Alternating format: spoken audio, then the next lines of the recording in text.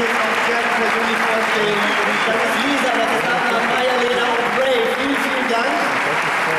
Und wir fragen euch jetzt, warum heißen die Fantastic Five, wenn sie eigentlich nur zu viert auf der Bühne sind. Deshalb holen wir jetzt noch einen auf die Bühne. Er ist der Erfinder und Ideengeber der Fantastic Five, Gunther von Morgen. Vielen lieben Dank. Ihr tanzt raus und die nächsten drei tanzen rein. Musik bitte nochmal, Regie. Dankeschön.